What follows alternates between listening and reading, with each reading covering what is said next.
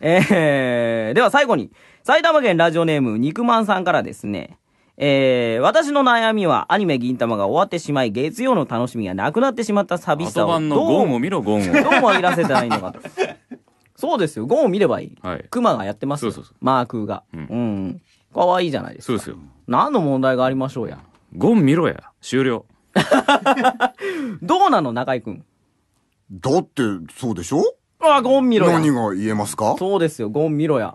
なんだ、簡単にまとまっちゃった。じゃあこれ、杉田くん、最後にリスナーさんに向けて、はいドンと言ってあげて。えー、アニブレックスさんがすっごい睨んできてるんで、DVD を買って繰り返し、あの過去の放送を見ると、とってもいいと思うよ。なんだこの言わされてる感。されてる感がね。ああ、でもよかった。ね。ゴンを見つつ、はい。